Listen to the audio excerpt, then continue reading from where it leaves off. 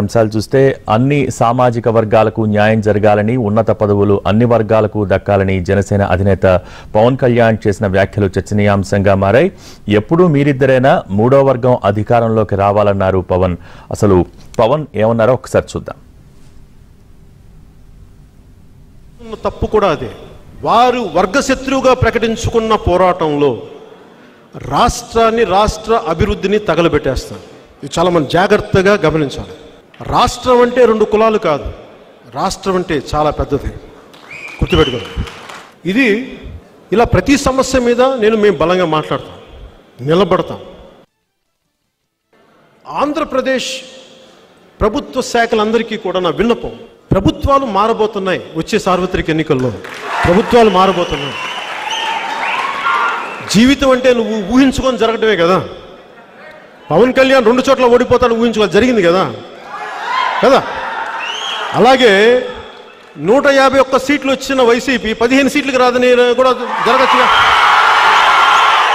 మరి అత్యాశగా మరి అత్యాశగా సున్నాలు వస్తాయని చెప్పట్ల. నూట యాభై ఒకటిలో ఒక్కడి ఒకటి చెరిపేయచ్చు కదా జీవితం? పరమాత్మ చెరిపేయచ్చు పదిహేను మిగులుతాయి మీకు పాండవ సభ ఎలా ఉంటుంది అప్పుడు చూపిస్తాను నేను. మన కౌరవ సభ చూపించారు కదా? పాండవ సభ ఎలా ఉంటుందో చూపిస్తాను. మీరు ధర్మంతో పెట్టుకున్నారు మీరు. మీకు చూపిస్తాను. మీకు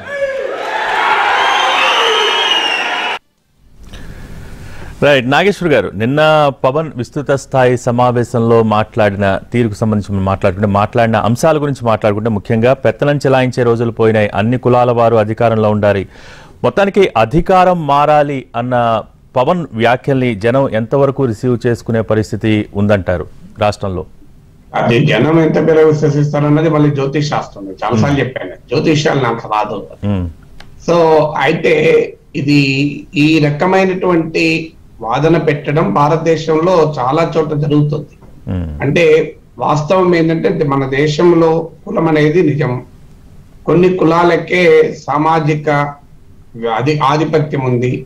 కొన్ని కులాలకే ఆర్థిక వనరులపైన ఆధిపత్యం ఉంది.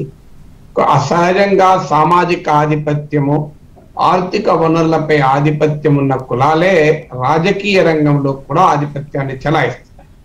మీరు గమనిస్తే మ్, పంజాబ్లో ఇటీవల మనకు చర్చ చూసాం చరణ్జీత్ సింగ్ చెన్నై ముఖ్యమంత్రి అయ్యాక. పంజాబ్ జనాభాలో ముప్పై రెండు శాతం దళితులు షెడ్యూల్ కులాలు చెందినవారు. ఇంతవరకు పంజాబ్ హిస్టరీలో పదిహేను మంది ముఖ్యమంత్రులు అయితే ఒక్కరు కూడా ఈ కమ్యూనిటీ నుంచి చెందిన వాళ్ళే. పద్నాలుగు మంది జాట్ జాట్ సిక్సే. జాట్ సిక్స్ ఒకటే ఒక్క సిక్కు సిక్కుల్లో ఉన్న ఒక వర్గానికి పద్నాలుగు fourteen out of fifteen chief minister పోస్టులు వచ్చాయి. ఇంకొక అతను జ్ఞాని జైల్ సింగ్ తర్వాత దేశ రాష్ట్రపతి కూడా అయ్యాడు. ఆయన రామ్ ఘరియా సిక్ అని ఓబీసీ సిక్. మరి ఎందుకు వచ్చింది? ఇప్పుడు మనము కులం ఆధారంగా ముఖ్యమంత్రి పదవులకు రిజర్వేషన్లు ఇవ్వాలని ఎవరు అనడం? రాజకీయాల్లో ఒక కొన్ని వర్గాల ఆధిపత్యము ఎందుకుంది? మరికొన్ని కులాల రాజకీయాల్లో ప్రాతినిధ్యం లేకుండా ఎందుకు పోతుంది? ఇప్పుడు మనకు గమనిస్తే విత్ అందులో మళ్ళీ అంతరాలు. విత్ ఇన్ ద ఓబీసీస్ మళ్ళీ ఎంబీసీస్ ప్రాధాన్యత ఉంది ఇప్పుడు దేశ జనాభాలో మండల్ కమిషన్ నివేదిక ప్రకారం యాభై రెండు శాతం మంది బీసీలు. మీరు ఉమ్మడి రాష్ట్రంలో నుంచి ఇప్పటి వరకు నాకు గుర్తు ఒక్క ఓబీసీ కూడా ముఖ్యమంత్రి అయ్యాడో? నాకైతే గుర్తులేదు లేదు. సబ్జెక్ట్ వెరిఫికేషన్ మీరు గమనించండి ఒక్క- ఒక్కరిని ఇప్పుడు మనము ఓపెన్గా మాట్లాడుకుంటే రెడ్డి కమ్యూనిటీకి చెందిన వారు ఎంతమంది ముఖ్యమంత్రులు అయ్యారు లెక్కలు చేయండి. అయితే రెడ్లందరూ డెవలప్ అయ్యారా? రెడ్ల ముఖ్యమంత్రులు అయితే నా డ్రైవర్ కూడా రెడ్డి ఉండేవారు. సో పాప ఆయనకి ఆయన ముఖ్య- రెడ్లందరూ నేను నా రాజశేఖర రెడ్డి ముఖ్యమంత్రిగా ఉన్న రోజుల్లో నాకు ఆయన డ్రైవర్ నేను నవ్వుతూ అనేవాడిని. ఏమయ్యా రెడ్లందరూ ఆధిపత్యం అంటారు సార్ మాది. మా మీరేం మీరేంది మరి నేను డ్రైవర్ అనే చేస్తున్నా కదా సార్ అంటే నేను నవ్వుతూ అనేవాడిని నీ కులాల్లో ఉంటారయ్యా అసమానతలు అనేది మరి ఇప్పుడు రెడ్లు ఇంత డామినెంట్ కాస్ట్ మరి ఎందుకు రెడ్లు డ్రైవర్లుగా ఉన్నారు? సో అందువల్ల సమాజంలో అన్ని కులాల్లోనూ అంతరాలు ఉన్నాయి. కులాల మధ్య అంతరాలు ఉన్నాయి. కొన్ని కమ్యూనిటీస్లకు సహజ నాయకత్వం స్వభావం ఉంటుంది. కొంతమందికి లీడర్షిప్ అనేది ఒక జీవన శైలిగా ఉంటుంది. సో అందువల్ల వాళ్ళ కమ్యూనిటీ నుంచి ఎక్కువ మంది రాజకీయాల్లోకి వస్తారు. కొన్ని కమ్యూనిటీస్ వాళ్ళు రాజకీయాల్లోకి రారు. ఇది మాకెందుకు ఈ పంచాయతీ అనుకుంటారు. ఇప్పుడు రెడ్డి కమ్యూనిటీ వాళ్ళు ఇంతమంది ముఖ్యమంత్రులు అయ్యారంటే మరి వాళ్ళకి రాజకీయాలు అనేది జీవన శైలి. మీరు ఊర్లో చూడండి సహజ సహజ శైలిగా నాయకత్వం వస్తుంది. ఏమీ లేక పదవి లేకపోయినా ఊర్లో పది మందితో నమస్తే సార్ అనిపించుకుంటుంటారు. పది మందిని ఏం ఏం మామ ఏం కాక అని తిరుగుతుంటారు. సో కొన్ని కమ్యూనిటీస్ ఆ పని చేయ మా పని మా పనిలో మేమే ఉంటామంటారు so there are historical factors sociological factors ఒకటి కాదు బట్ సమాజంలో చాలా సంక్లిష్టంగా ఉంటుంది. కానీ రియాలిటీ మాత్రం మనకు కాదలే కదా. యాభై రెండు శాతంగా ఉన్న ఓబీసీలకు తగిన రాజకీయ గుర్తింపు రావడం లేదు. సో అందువల్ల కొన్ని కులాల ఆధిపత్యం ఉన్నమాట నిజం. దాంట్లో డౌట్ లేదు. అయితే మరి ఆ కులాల ఆధిపత్యం రాజకీయాల నుంచి పోవడం దీని కొరకు మళ్ళీ ఎవరినో ఒకరిని ముఖ్యమంత్రి చేయడం కాదు. ఇప్పుడు బీసీ ముఖ్యమంత్రి అయినప్పుడల్లా బీసీలందరూ న్యాయం జరిగిందా సో రెడ్లు ముఖ్యమంత్రి అయినప్పుడు బీసీలో న్యాయం జరగలేదా? ఎస్సీలకు న్యాయం జరగలేదా? ఎస్సీ ముఖ్యమంత్రి అయినప్పుడే న్యాయం జరిగిందా? ఇలా ప్రభుత్వ పాఠశాలలు ఉన్నాయి. ప్రభుత్వ పాఠశాలలు చదివేదంతా ఎస్సీ ఎస్టీ బీసీలు చదువుతారు. మీకు మా- ఉత్తరప్రదేశ్లో మాయావతి ముఖ్యమంత్రి అయ్యారు ప్రభుత్వ స్కూల్లో మారినాయి పరిస్థితులు. అదే మీకు ఢిల్లీలో అరవింద్ కేజ్రీవాల్ హయాంలో మారినాయి. మీకు భూమి పేదలకు దళితులకు భూమి హక్కులు ఉండవు. మీకు బెంగాల్లో భూమి కేరళలో భూముల పంపిణీ జరిగింది. మరి ఉత్తరప్రదేశ్లో మాయావతి ముఖ్యమంత్రి ఉన్నప్పుడు భూ సంస్కరణలు జరిగాయా? జమ్మూ కాశ్మీర్లో షేక్ అబ్దుల్లా నాయకత్వం ఉన్నప్పుడు జరిగాయి. కానీ మీకు ఉత్తరప్రదేశ్లో ఆ, ములాయం సింగ్ యాదవ్ ఉన్నప్పుడు లేదా మాయావతి ఉన్నప్పుడు దళిత ముఖ్యమంత్రి కదా దళితులందరికీ భూమి పంచింది ఆమె. ఓకే. భూ పంపకాలు జరిగినాయా భూ సంస్కరణలు జరిగినాయి ఉత్తరప్రదేశ్లో సో అందువల్ల రాజకీయాల్లో కొన్ని కళాల వారు ఆధిపత్యాన్ని చెలాయిస్తున్నారన్నమాట నిజం కాదనలేదు. కానీ అదే సమయంలో ఈ కులం అతన్ని తీసుకొచ్చి ఇంకో కులం అతన్ని పెడితే ఆటోమేటిక్గా సమాజంలో అసమానతలు పోతాయి అంతరాలు పోతాయి అనుకుంటే పొరపాటు. సో అందువల్ల ఇప్పుడు ఉదాహరణకు ఒక బీసీకి చెందిన పారిశ్రామికవేత్త ఉంటారు తన కంపెనీలో పనిచేసే బీసీలందరికీ మెరుగైన జీతాలు ఇస్తాడా? ఒక రెడ్డి గాని వైశ్య గాని కమ్మ గాని వ్యాపార సంస్థ నడుపుతుంటాడు. అందులో ఉన్న తమ కులస్తులకు ఎక్కువ జీతాలు ఇస్తారా? మీరు వాస్తవంగా దళిత పారిశ్రామికవేత్త దళిత కార్మికులకు ఎక్కువ జీతాలు ఇస్తారా? మళ్ళీ అక్కడికి వచ్చే వరకు తమ క్లాస్ ఇంట్రెస్ట్ ఉంటాయి. వైశ్య వైశ్యులను నిర్వహించే వ్యాపారాల్లో పనిచేసే గుమస్తాలకు గుమస్తాలు ఎవరైనా వైశ్యులు ఉంటే వాళ్ళకి ఎక్కువ జీతాలు ఇస్తారా? మళ్ళీ అదేగా జీతం ఇచ్చేది. వైశ్యునికైనా అదే జీతం ఇస్తారు బీసీకైనా అదే ఇస్తారు రెడ్డికైనా అదే ఇస్తారు. సో కులం అనేది వాస్తవం అనుమానం లేదు. కానీ కులం వల్లనే న్యాయం జరుగుతుంది అనుకోవడం కూడా కరెక్ట్ కాదు. సో అందుకే సమా సామాజిక శాస్త్రవేత్తలు చెప్పేది మన సమాజంలో కులం అనేది వాస్తవం. అదే సమయంలో వర్గం అనేది కూడా వాస్తవం. ధనిక పేద తారతమ్యాలు ఉన్నాయి. సో అందువల్ల ఈ రెండింటిని కాంబైన్గా చూడాల్సింది ఇండియన్ కాంటెక్స్ట్ అని. సో అందువల్ల ఇప్పుడు పవన్ కళ్యాణ్ దృష్టిలో చంద్రబాబు నాయుడు కమ్మ జగన్మోహన్ రెడ్డి రెడ్డి మా వాళ్ళిద్దరిని తీసేసి పవన్ కళ్యాణ్ కాపీ చేస్తే కాపులందరూ న్యాయం జరుగుతుందా? మరి అలాంటప్పుడు కాపులకు ఎందుకు ఇవ్వాలి? బీసీలకు ఇంకా న్యాయం జరిగింది బీసీలకు ఎందుకు ఇవ్వద్దు? మరి బీసీలకే ముఖ్యమంత్రి ఎందుకు ఇవ్వాలి? ఎస్సీలకు ఎందుకు ఇవ్వకూడదు? ఎస్సీలకే కాదు ఎస్టీలకు ఎందుకు ఇవ్వకూడదు? ఇప్పుడు జనసేన అధ్యక్ష పదవిని పవన్ కళ్యాణ్ ఎందుకు ఉండాలి? ఎస్టీకి ఇవ్వచ్చు ఉమ్, అత్త లేదు ఇంకా ఆదివాసులకు ఇవ్వచ్చు కదా. దానికి పవన్ కళ్యాణ్ కూడా ఆన్సర్ చెప్పాలి. అవును. లేదు రేపు జనసేన గెలుస్తాను పవన్ కళ్యాణ్ ఎందుకు ముఖ్యమంత్రి కావాలి? ఎస్టీ ఎందుకు కాకూడదు? అత్యంత అనగాహన కులం కదా. ఎస్సీ ఎందుకు కాకూడదు? ఇప్పుడు ఇప్పుడు మనం తెలంగాణలో చూసాం కదా. తెలంగాణ వస్తే దళితులు ముఖ్యమంత్రి చేస్తా అంటే ఏమైంది ఆఖరికి? సో అందువల్ల అల్టిమేట్గా ఎవరు ముఖ్యమంత్రి అయ్యారని కాదు. ఏ వర్గానికి సమా న్యాయం జరిగింది. ఏ కులంలో పుట్టాలని నువ్వు నిర్ణయించుకోలేవు. పుట్టిన తర్వాత ఎటువైపు ఉండాలని నువ్వు నిర్ణయించుకోలేవు. పుట్టిన తర్వాత ఏ వర్గానికి ఏ కులం ఏ అణగారిన జాతికి నీవు నిలబడగలవు అనేది నువ్వు నిర్ణయించుకోగలవు పుట్టడం నీ చేతుల్లో లేదు కదా ఎక్కడైనా పుట్టచ్చు అవును. ఆ- ఛాయిస్ మనకు లేదు పుట్టడానికి. కానీ పుట్టిన తర్వాత ఎటువైపు ఉండాలన్న ఛాయిస్ మన వైపు. అందువల్ల అల్టిమేట్గా రాజకీయాల్లో సమాజంలోని వివిధ వర్గాలు వివిధ కులాలకు ఒక ప్రాతినిధ్యం అనేది ఉండాలన్నది కరెక్ట్ కానీ దాన్ని ఎక్స్ట్రీమ్కు తీసుకెళ్ళి ఇక ఆ కులానికి చెందిన వారు ముఖ్యమంత్రి అయితేనే ఇక మిగతా అంతా బాగుపడుతుంది అనుకుంటే ఇప్పుడు పంజాబ్లో ఉన్న దళితుల పరిస్థితులు మొత్తం మారిపోవాలి. చిరంజీవి సింగ్ చైని ముఖ్యమంత్రి అయ్యాడు గనక పంజాబ్లో ఉన్న ముప్పై రెండు శాతం దళిత్ కమ్యూనిటీ బ్రహ్మాండంగా అభివృద్ధి కావాలి. సో మా రూపురేఖలు మారిపోవాలి ఇక. మారుతాయిగా? సో అందువల్ల విధానాలు అందువల్ల పవన్ కళ్యాణ్ అన్న దాంట్లో న్యాయం ఉన్నమాట నిజం కొన్ని కులాలకే ఆధిపత్యం ఉన్నమాట నిజం. ఈ రాజకీయాల్లో ఉన్న ఈ ఆధిపత్య ధోరణి సవరించాలి. అన్ని కులాలకు రాజకీయ వ్యవస్థ ప్రాతినిధ్యం ఉండాలి. అదే సమయంలో ఈ ఎందుకు ఉండాలి ఈ ప్రాతినిధ్యం? కొన్ని ఒక కులానికి చెందిన నాయకుని తీసి మరో కులానికి చెందిన నాయకుని పెట్టడానికి కాదు. సమాజంలో ప్రజలకు న్యాయం జరగడానికి ఈ మార్పు ఉండాలి. ప్రజలకు న్యాయం జరిగే దిశగా ఈ మార్పు ఉండాలి కదా. అవును. రైట్ కానీ ఇప్పుడు నిన్న పవన్ కళ్యాణ్ ఓవరాల్ స్పీచ్ కనుక మనం చూసినట్టయితే ఇప్పటిదాకా ఒక సామాజిక కార్యకర్తగానే నేను మసలుకున్నాను. కానీ ఇకపై ఇప్పటిదాకా రాజకీయం కూడా చేయలేదు. ఇక్కడి నుంచి రాజకీయమే చేస్తానంటూ కూడా మాట్లాడారు. సో ఆ దిశలో నిన్న చేసిన ప్రసంగంలో ఖచ్చితంగా ఒక మార్పు అయితే ఉందనుకోవచ్చా? ఇప్పుడు ఐదారు అట్లా ఐదారు రాజకీయం చేయకపోతే ఏం చేశారు. సో ఇప్పటిదాకా మన నేనైతే రాజకీయాలే చేశాను అనుకుంటున్నాను ఓకే ఇవన్నీ రొటీన్ డైలాగ్స్ అనేది సపోర్ట్ కొట్టడానికి ఇది సీరియస్గా మనం విశ్లేషించేది ఏముంటుంది. నేను ఇంతవరకు రాజకీయం చేయలేదు రెండు సీట్లకి వెళ్ళి పోటీ చేసి రాజకీయం చేయలేదంటే నేను ఏం చేయాలి ఓకే ఇప్పుడు ఎన్నికల్లో పోటీ చేసిన రాజకీయం కాదా. ఎన్నికల్లో పోటీ చేసిన స్వచ్ఛంద సేవా కార్యక్రమం. అంటే రాజకీయం అంటే ఏంటిది పనిమాల పనులు చేయడమే రాజకీయమా సో దాని అర్థం ఏంటో నాకు తెలియదు. రాజకీయం అంటే ఏంటి? పనిమాల పనులు చేయడం తిండి ఇవే రాజకీయమా పార్టీ పెట్టాడు ఎన్నికల్లో పోటీ చేశారు. ఓడిపోయారు ఒక ఎమ్మెల్యే గెలిచారు ఆ ఎమ్మెల్యే పార్టీ ఫిరాయించాడు. ఇదంతా రాజకీయం కాబట్టి ఏంటిది మ్మ్. అయినా పవన్ కళ్యాణ్ ఎవరు చేస్తున్న రాజకీయం? రాజకీయ పార్టీ పెట్టి నేను రాజకీయం చేయాలి నేను ధార్మిక కార్యక్రమాలు చేస్తాను ఎట్లా? ఇప్పుడు జనసేన స్వచ్ఛంద సంస్థ కాదు నాకు తెలిసినంత చారిటబుల్ ఆర్గనైజేషన్ కాదు. అది ఒక పొలిటికల్ పార్టీగా రిజిస్టర్డ్.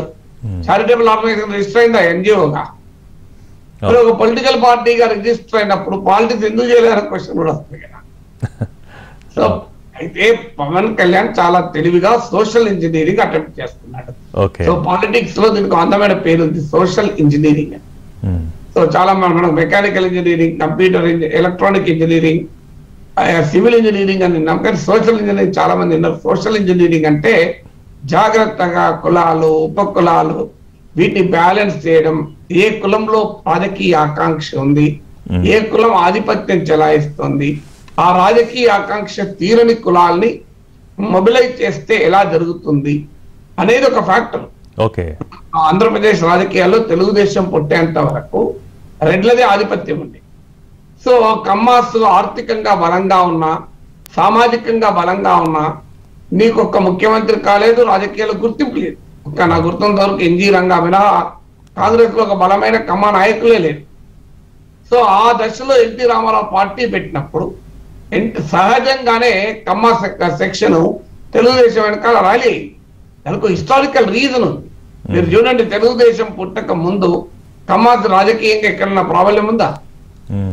మరి ఆర్థిక వనరులు ఉండి సామాజిక శక్తి ఉండి మరి ఎందుకు లేదంటే రీజన్ లేదు. అది హిస్టారికల్ ప్రాసెస్ అది. సో అప్పుడు ఆటోమేటిక్గా తెలుగుదేశం పుట్టినప్పుడు కమ్మాస్ పెద్ద ఎత్తున తెలుగుదేశం వెనకాల ర్యాలీ అయ్యారు సో దళితులు కాంగ్రెస్ వెనకాలండే. షెడ్యూల్ కులాలకు చెందిన వారు ప్రధానంగా కాంగ్రెస్ వెనకాలండే. మ్మ్. దాంతో ఎస్సీ వర్గీకరణ అన్న రాజకీయాలు వచ్చాయి.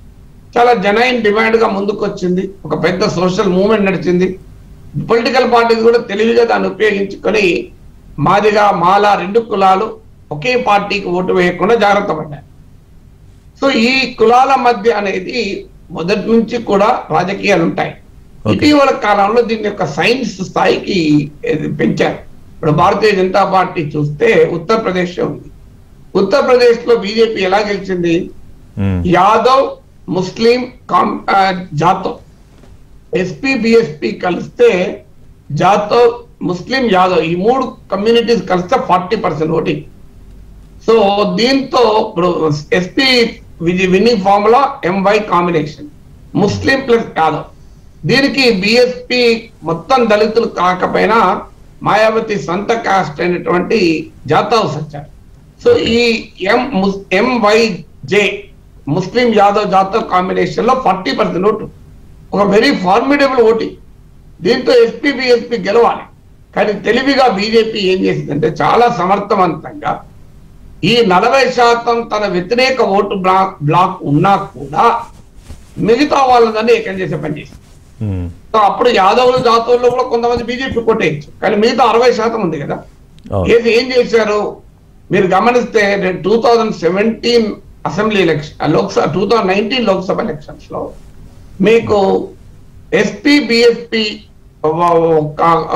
మొత్తం పదిహేను మంది గెలిస్తే అందులో పదకొండు మంది ముస్లిమ్స్ అండ్ యాదవ్స్ ఆరుగురు ముస్లిమ్స్ ఇందుకు భిన్నంగా బీజేపీ ఇరవై తొమ్మిది మంది నాన్ యాదవ్ ఓబీసీలు టికెట్ ఇచ్చింది. ఎస్పీ ఇరవై మందికి ఇస్తే బీజేపీ ఇరవై తొమ్మిది మందికి ఇచ్చింది. సరే ఎస్పీ పంతొమ్మిది మందికి ఇస్తే. సో ఒక పెద్ద ఎత్తున నాన్ యాదవ్ ఓబీసీలను ఆర్గనైజ్ చేసింది. ఓకే. ఎందుకంటే కుర్మీస్ యాదవ్ల తర్వాత పెద్ద కమ్యూనిటీ కుర్మీ. ద వాళ్ళను రిప్రజెంట్ చేసే అప్నా దళతో పొత్తు పెట్టుకుంది. తర్వాత రాజ్బర్ల అనే ఇంకో ఎంబీసీ కమ్యూనిటీ వాళ్ళని రిప్రజెంట్ చేసే సుహేల్ దేవ్ అనే ఆ సంస్థ పార్టీతో సుహేల్ దేవ్ భారతీయ సమాజ్ పార్టీ అని వాళ్ళతో పొత్తు పెట్టుకుంది. సో ఈ నాన్ యాదవ్ ఓబీసీస్ అందరినీ ఆర్గనైజ్ చేసింది.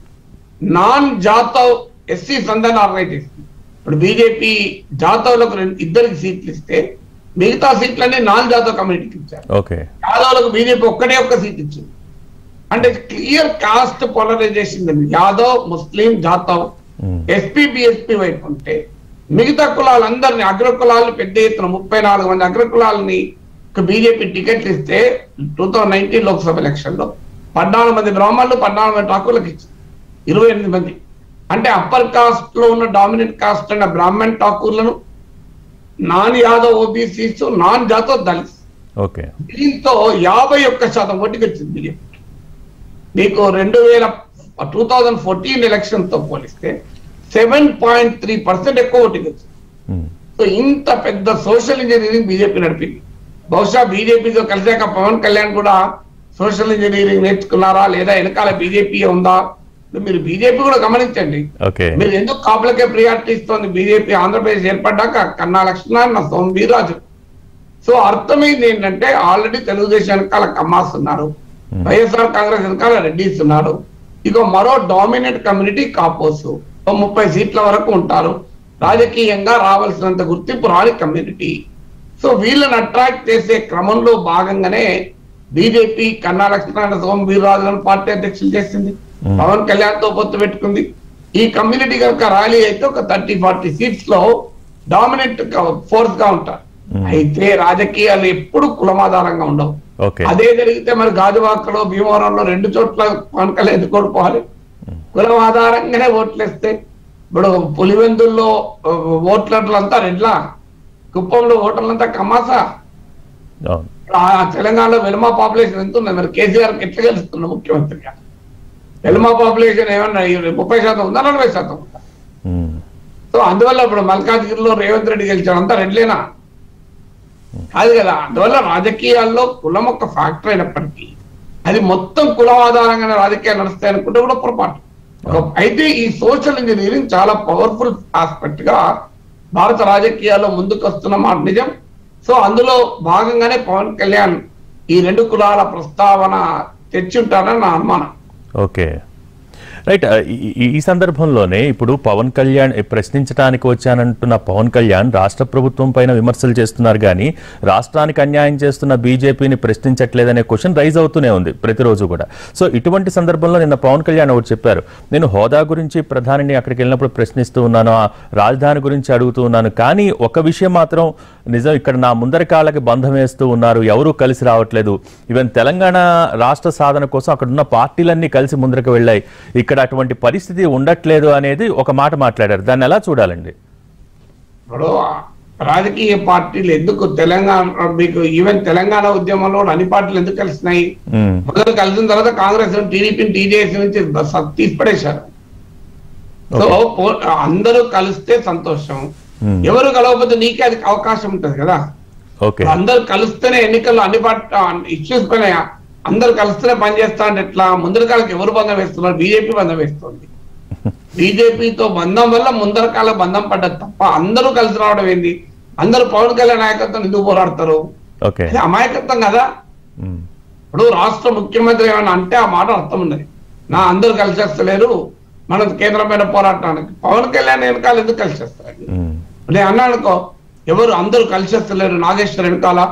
అని అన్నానుకో నా వెనకాల పవన్ కళ్యాణ్ చంద్రబాబు నాయుడు జగన్మోహన్ రెడ్డి కలిసి వస్తారా ఆయన వర్షన్ ఏంటంటే ఫలానా కులం వాడు చేస్తున్నాడు కాబట్టి వాడితో మనం కలవటం ఎందుకు అనేది ఈ పార్టీలు అనేది అసలు ఏపీకి పట్టిన దౌర్భాగ్యమే ఈ కులం అనేది ఆ- కోణంలో మాట్లాడిన మళ్ళీ మాట్లాడినట్టు ఆయన కూడా కులమే మాట్లాడుతున్నాడు కదా. సో అసలు పాయింట్ ఏంటంటే పవన్ కళ్యాణ్ పోనీ పెట్రోల్ డీజిల్ పైన ఎందుకు పోరాడుతున్నారు దానికి ఎవరు వచ్చింది పోనీ ప్రత్యేక హోదా కేంద్రంపై పోరాడాలి. మన వ్యవసాయ చట్టాల మీద రైతులు పోరాడారు. వైసీపీ టీడీపీ మద్దతు ఇచ్చింది భారత్ బంద్కు జనసేన ఎందుకు మద్దతు ముందర కాళ్ళకి ఎవరు బంధం వేసిండ్రు? వైసీపీ వేసిందా టీడీపీ వేసిందా ఉమ్. వైసీపీ టీడీపీ కాంగ్రెస్ కమ్యూనిస్టులు అందరూ భారత్ బంద్ మద్దతు ఇచ్చారు కదా జనసేన ఎందుకు ఇవ్వాలి? పవన్ కళ్యాణ్ ఎందుకు రోడ్డు మీద రాలే ఎవరు బంధం వేసారు ఎవరు అమర్చిండ్రు Hmm. అన్ని పార్టీలు మద్దతు ఇచ్చాయి ఎక్సెప్ట్ బీజేపీ. మరి జనసేన ఎక్కడ వైపు ఎటువైపు ఉంది? రైతుల వైపు ఉందా? బీజేపీ వైపు ఉంది కదా. దానికి ఎవరు ముందర కాల బంధం వేశారు. ఏ పెట్రోల్ వంద రూపాయలు అయింది దీనిపైన ఒక దీక్ష నిరసన దీక్ష చేయి. దీనికి ఎవరు బంధం వేస్తారు? ఎవరు? పోనీయండి ఒక మాట మాట్లాడు.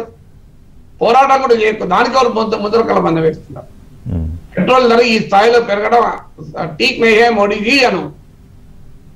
అమిత్ షా జీ ఏ బార్ సునియే. పెట్రోల్ సౌ రూపాయ జాదా పోతే కైతే అని చెప్పు. ఇది అనడానికి ముందర కాలకి ఎవరు బంధం వేస్తారు? నాకు అర్థం కాదు. సో దీనికి ఏమైనా వైసీపీ అడ్డం వస్తుందా? టీడీపీ అడ్డం వస్తుందో? మాట మాట్లాడటానికి. ఇంతవరకు పెట్రోల్ డీజిల్ ఛార్జీలు ఈ స్థాయిలో పెరగడం అన్యాయము. వంట నూనెల ధరలు ఈ స్థాయిలో పెరగడం అన్యాయం అని పవన్ కళ్యాణ్ నోట్లో విన్నామా మాట. మరి దీనికి ఎవరు హోదా పక్క పెట్టి చాలా పెద్ద పెద్ద ఇష్యూస్ అందరు కలిసి రావాలి అందరు పవన్ కళ్యాణ్ ఎందుకు కలిసి వస్తారు? ఓకే. పవన్ కళ్యాణ్ అందరికి నాయకుడు ఎందుకు అవుతాడు? ఆయనదో రాజకీయ పార్టీ ఆయన పార్టీ ఆయన చేయాలి. వేరే పార్టీలు ఎందుకు కలిసి వస్తాయి? వేరే పార్టీల ఉద్యమాల్లో పవన్ కళ్యాణ్ కలిసి వస్తున్నాడు మరి? అందుకే ఉదాహరణ చెప్పిన భారత్ బంద్ పైన అన్ని బీజేపీ వ్యతిరేక పార్టీలన్నీ దేశవ్యాప్తంగా కలిస్తే మరి పవన్ కళ్యాణ్ ఎందుకు కలవలేదు?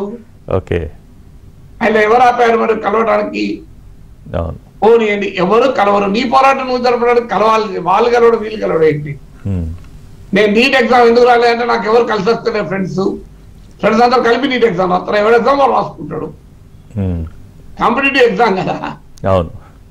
రాజకీయాలు క్రికెట్ మ్యాచ్ కాదు కదా పదకొండు మంది ప్లేయర్లు కలిసి రావడానికి ఓకే. ఇది ఇండివిజువల్ గేమ్ కదా. అందరు కలిసి వస్తారు అందరు ఎందుకు కలిసి వస్తారు? అందరికి ఏం పని. అందరు కలిసించడం మీరున్నారా? ఉమ్. భారత్ బంద్ మీద అందరు కలిసిన మీరు ఎందుకు లేరు? స్టీల్ ప్లాంట్ మీద చాలా మంది కలిసి పోరాడుతున్నారు. మీరు మిమ్మల్ని ఎవరు ఆపినరు.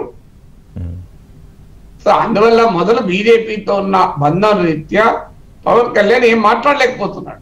నిజంగా చెప్పాలంటే అవసరం లేదు. పొత్తున్న మాట్లాడొచ్చు. టీడీపీతో పొత్తున్నాడు బీజేపీ టీడీపీని విమర్శించలేదా? ఇప్పుడు ఖమ్మంపాటి హరిబాబు ఏమనేవాడు కాదు. వెంకయ్య నాయుడు ఏమనేవాడు కాదు. మెచ్చుకునేవారు టీడీపీని. సోమవీరాజు అప్పుడు కూడా విమర్శించేవాడు టీడీపీని. మరి పొత్తున్న విమర్శించింది కదా టీడీపీని బీజేపీ. మరి పొత్తున్న ప్రజల పక్షాన పవన్ కళ్యాణ్ ప్రశ్నించాలి కదా. ఒక్క మాట ఒక్క మాట పెట్రోల్ డీజిల్ ధరలు ఈ స్థాయిలో పెరగడం అన్యాయము. రెండు వేల పద్నాలుగులో నూట ఎనిమిది డాలర్లు పర్ బ్యారెల్ ఉన్న రోజుల్లో అరవై ఐదు డెబ్బై రూపాయలు ఉన్నటువంటి పెట్రోల్. ఇవాళ డెబ్బై ఆరు పాయింట్ ఎనిమిది తొమ్మిది డాలర్లు ఉంది బ్యారెల్ నిన్న రేటు. మరి ఎందుకని నూట ఆరు రూపాయలు అయింది ఇది అన్యాయం మోడీజీ ఒక్క మాట అంటానికి ఏంటి అభ్యంతరం? ఎవరు కలిసి రావాలి? రైట్ కానీ ఈ- దశలో నిన్న మీటింగ్లోనే ప్రజలకు న్యాయం జరుగుతుంది అంటే ఎవరితోనైనా కలుస్తా అని ఒక మాట అన్నారు. సో కొత్త పొలిటికల్ కాంబినేషన్స్ పాత పొలిటికల్ కాంబినేషన్స్ ఇవేమన్నా చూసే అవకాశం ఉంటుందంటారా? కలుస్తారు? మంచి ప్రజలకు న్యాయం అయ్యేందుకే కదా రైతులు ఉద్యమాలు జరిపితే మీరు ఎందుకు కలవలేదు అంటున్నారు ఓకే. ఎవరితో కలవలే కదా? ప్రజలకు మొన్న నిన్న కాక మొన్న ఇరవై ఐదో తారీఖు జరిగిందంటే ఎవరితో కలిసి ఇచ్చారు? ఉమ్, ఇప్పుడు పవన్ కళ్యాణ్ క్వశ్చన్స్ ఎందుకు వస్తున్నాయంటే చెప్పేదానికి చేసేదానికి చాలా తేడా ఉంటుంది. ఓకే. నువ్వు పవన్ కళ్యాణ్ ప్రశ్నిస్తానంటూ చాలా వాటి మీద మాట్లాడుతున్నాడు కదా. ఏదో అప్పుడప్పుడు వచ్చి ఎపిసోడ్ లాగా వచ్చి గట్టిగా రెండు మాటలు మాట్లాడి మళ్ళీ ఒక పదిహేను రోజుల దాకా మళ్ళీ ఏం మాట్లాడకపోతే యాక్టివిటీ నేను ఉద్యమిస్తా నేను పోరాడుతా నేను లేస్తా మనిషిని కాదు. నేను అంతు చూస్తా అంటాడు మళ్ళీ కదలిక లేకపోతే ఎట్లా? ఇప్పుడు కాకినాడ సభలో ఏం మాట్లాడింది ప్రత్యేక హోదా మీద? ఎన్ని సభలు పెడతా అన్నాడు? ఏమైనా ఇవ్వండి? పాచిపోయిన లడ్డు ప్యాకేజ్ అని అసలు మామూలు కాదు కదా. ఆవేశంగా మోడీ పైన అమిత్ షా పైన హిందీలో మాట్లాడాడు. మనం చూసాం కదా అది. మళ్ళీ సడన్గా పోయి మోడీ అమిత్ షాతో కలిశారు. సో ఆ క్రెడిబిలిటీ క్వశ్చన్ వస్తుంది. మాట్లాడడం కాదు యాక్షన్లో ఉండాలి కదా.